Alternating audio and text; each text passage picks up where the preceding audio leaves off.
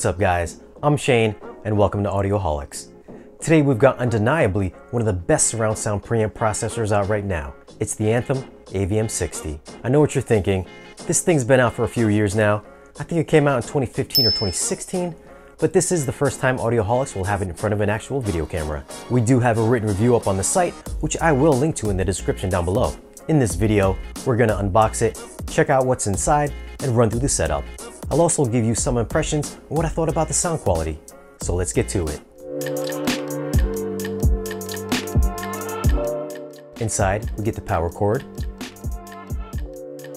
remote control, which does have backlighting, two AAA batteries, an FM antenna, two Wi-Fi antennas, the manuals, and probably one of the best things about this package is the included calibrated microphone and mic stand. The AVM60 isn't the heaviest surround sound preamp, coming in at 20 pounds. If you're mounting this in your audio rack, it will take up a 4U space with the optional, not included, rack mount kit. It's 6.5 inches high by 17 and a quarter inches wide and 14 inches in depth build here is very high quality. It isn't some cheap sheet metal. It's thick and has an almost rough texture on the top and sides. On the front of the unit, you'll find directional keys for navigating the menus.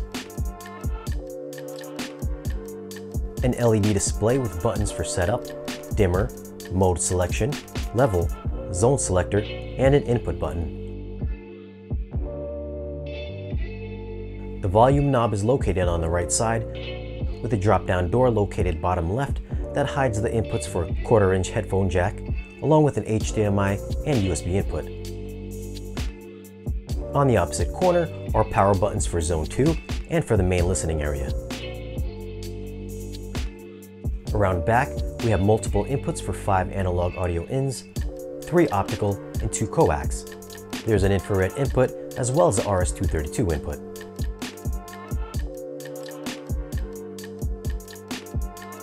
If you want to hardwire to your network, there is also an Ethernet input jack next to another USB input.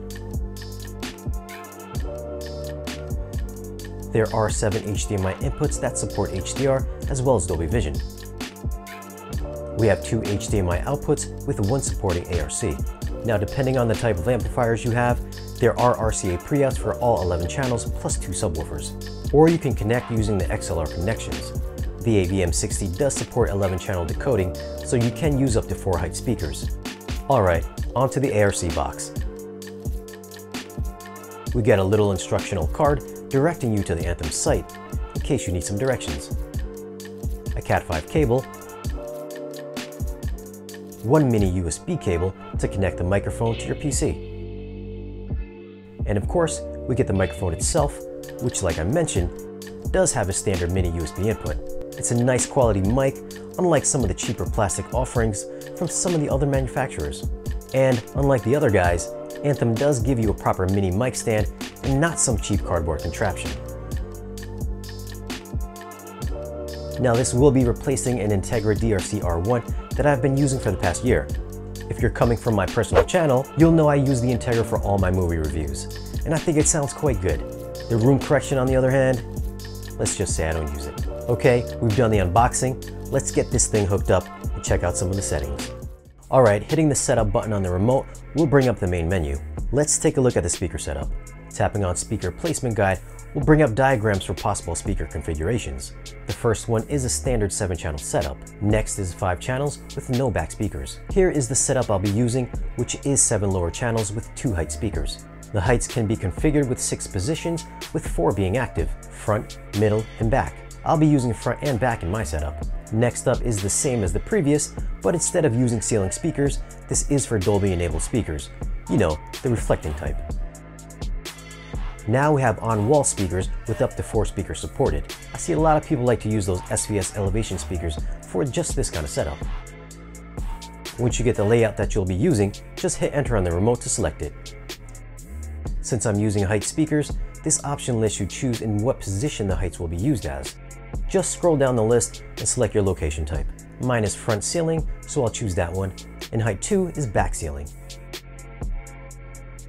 Now if you scroll down, you'll have four options for speaker profiles. For example, you can have profile 1 be a full 11 channel setup and profile 2 be a 7 channel or 2 channel setup, or whatever you prefer. You can have different options like different distances and level trims and a host of other options per profile. I think it's a nice touch and I haven't seen any other manufacturers do this. Next up is bass management. Here you can set crossovers for each speaker manually or have it done using ARC. We'll cover that later on in the video.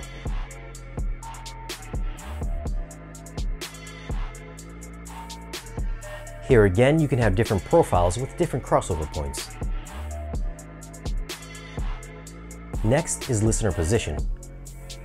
I have mine measured in feet, and you can only change them in increments of one foot. So if you're used to say a Denon or Marantz, which have smaller, more granular increments, you may be bothered by it, but didn't bother me. Now you'll have to set distances by yourself as ARC doesn't do it for you. I used both my Radio Shack meter and I used REW to get my subs dialed in. Here we have level calibration, and you guessed it, this is where you set speaker levels. ARC can do it for you, but I always like to go back and double check with my sound level meter. You know, just to be sure.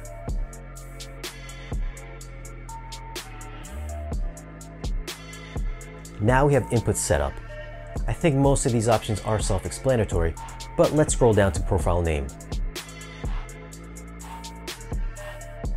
Here is where you can select those different speaker profiles that you've created earlier.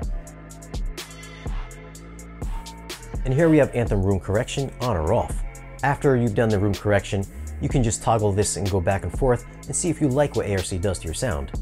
You also get Dolby Vision and Dolby Volume Leveler. It's basically Dolby's dynamic range compression. This can be useful for late night viewing if you want to keep those explosions from getting too loud and waking up the neighbors. Here we get some upmixing of two channel sources. We have two Anthem versions of DSP, one for movies and one for music, as well as Dolby and DTS upmixers and an all channels mode.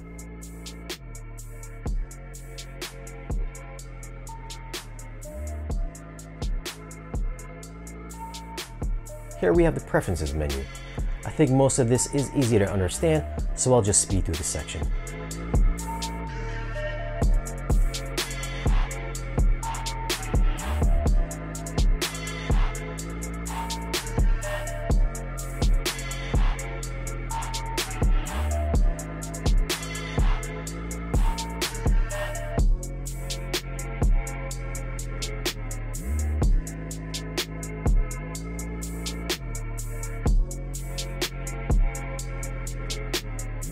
Okay, now here we have system info. You can't do updates over your network here, so if there's an update available, you'll have to go to the website and download it onto a USB stick. I know it's kind of a bummer, but it's not really a deal breaker. Now, let's go and do the room correction. But first, we've got to set up the microphone. Setup is pretty easy. Just turn the lower knob to extend the stand, and be sure to tighten it back up. Turn the large upper knob to adjust the microphone arm and retighten it so it doesn't drop. Place the mic on the end of the holder and you're done.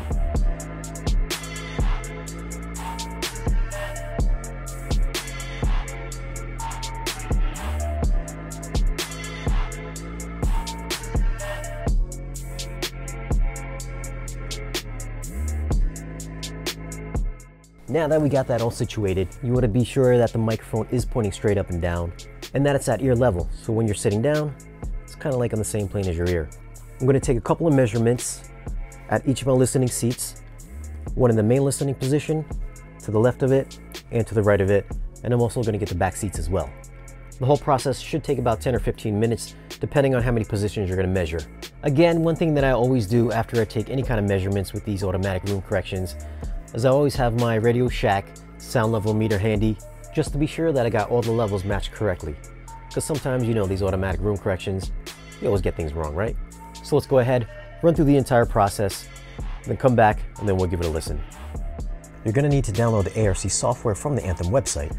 Once it's downloaded, just follow the on-screen directions.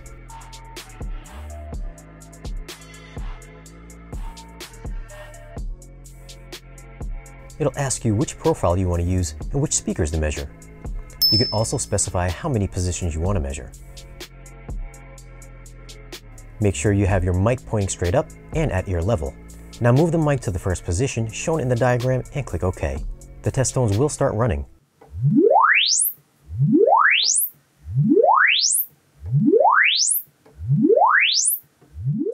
When the process is complete, you'll get graphs with your in-room response curves, uncorrected and corrected. You can always go back and fine-tune if desired. So I've spent some time listening to a ton of movies on the AVM60. Their implementation of room correction is by far the best I've used in my home theater yet. I'm coming from using the Integra and their Accu EQ system, and it just never seems to get my crossovers right. Using Audyssey on the many Marantz preamps I've had always ended up with bass levels that were anemic and non-existent. Although I know their new models have the Audyssey app that's been updated to let you configure the EQ manually, much like ARC does. Now after running Anthem's room correction, I noticed an immediate change in the way my subwoofer sounded. I wasn't getting lumpy or bloated bass, but rather a nice and smooth, tight controlled response. Sure, I could have used the EQ on SVS's PB16 to smooth things out, but I opted to let the Anthem do its thing. And it worked great. One other area I found ARC got right was fatigue. I saw myself not reaching for the remote control during longer movies like I do with the Integra. The higher frequencies at times can overwork your ears if you're listening out loud levels for long periods. With ARC engaged, the upper end remained detailed and spacious without having to constantly be adjusting the volume. I'm always watching and reviewing a ton of movies, so these two points stuck out to me right off the bat. If you're picking up this processor for its Dolby Atmos decoding, you'll be in for a treat. One of my favorite demo movies to throw in is Power Rangers. I know it's not the best movie, but it has to be one of the best sounding. If you check out the first chapter where the boys get into that car crash, you'll notice how perfectly matched the sound effects move in a full 360 degrees around your room and overhead. Every sound from the cow mooing, the police sirens, and the glass breaking is fantastically rendered here and made my speakers seem to disappear. It not only handles the huge surround soundtracks amazingly well, but the quieter, more nuanced ones also. Dropping in a quiet place next, you'll find the first chapter is full of ambiance like the delicate sounds of leaves and wind blowing to gentle footsteps. The AVM60 handled these quieter moments extremely well and never drew attention to any one of my speakers in my setup. The Anthem can also use Dolby and DTS upmixers if you want to expand those non-immersive mixes to utilize all your speakers. I found Dolby's upmixer to be more subtle, pulling out spatial cues and throwing them to the high channels. DTS seemed to be a little bit more aggressive in this area. I'm kind of a purist, so I like to listen to soundtracks the way they originally are, but both upmixers sounded good with a variety of older movies. Now these are just some quick points I wanted to touch on in this video. If you want a more detailed technical breakdown, you can always head over to the Audioholics website and read the review there. There'll be a link right down below if you want to check that out. So, is the Anthem the right choice for you? I know there are a ton of options out there in this price category, but I think Anthem's room correction is in a different league, and it should place it at the top of your list. As of this video, the AVM60 is $3,000 and does sound better to me than processors costing almost double the price. It's got great build quality and even better sound quality. If you can check this thing out at your local hi-fi shop, I don't think you'll be disappointed. Now, if you guys would like to see something in a future video, let us know in the comments below. Give us a like if you found the video useful, and remember, keep listening.